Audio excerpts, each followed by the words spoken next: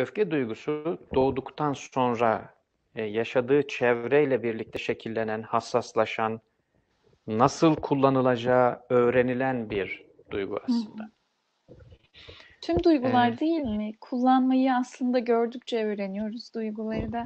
Yaşamayı da hissetmeyi de o duyguyu ifade biçimimizi de hani o dışa vurma halini de deneyimleyerek, görerek çocukken öğrenmeye başlıyoruz. Evet, evet. Aslında onun son olarak da şunu söylemek istiyorum. Hani deneyimleme, deneyimleyerek hangi duygunun nasıl kullanılacağını öğreniyoruz. Çok doğru. Açlık duygusunu yemek yemek üzere kullanıyoruz örneğin.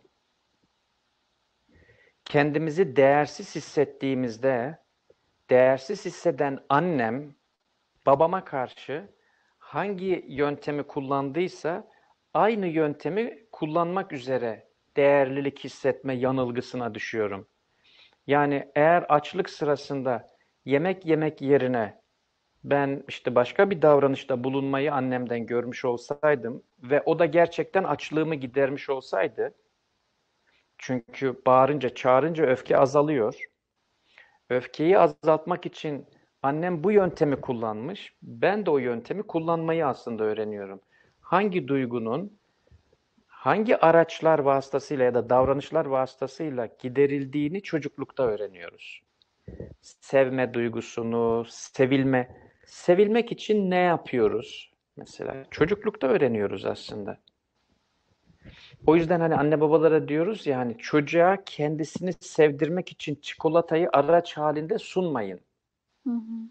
Çocuğa çikolata vermeye çalışıyor. Hadi beni bir tane öpersen sana çikolata vereceğim. Sevilebilmesi için çocuk kendisini araçsallaştırıyor. Bir başkasının sevgisini alabilmek için ona yakınlaşmayı, onu kızdırmamak için ona yakınlaşmayı öğreniyor. Bunların her birisi minik minik birer şablona dönüşüyor.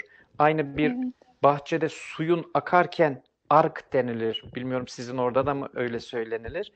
Hani suyun akışının e, değiştirildiği, şuradaki domatesleri de göndereyim diye orada bir e, kanal açarlar. Ona ark denilir. Aslında anne baba bir duyguyu yaşarken onu nasıl ifade ediyorsa, nasıl davranışa döküyorsa çocuğun bilişsel ve duygusal şablonu içerisinde arklar açıyor.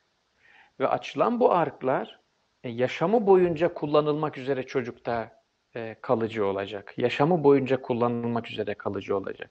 İlk başvurduğu yöntem o içindeki ilk akan su bağırmaksa eğer bağırmaya doğru gidecek.